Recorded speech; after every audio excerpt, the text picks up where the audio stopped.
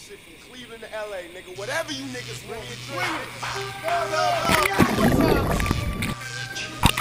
I don't give a fuck where you lay at, nigga. It's time to slay these bitches.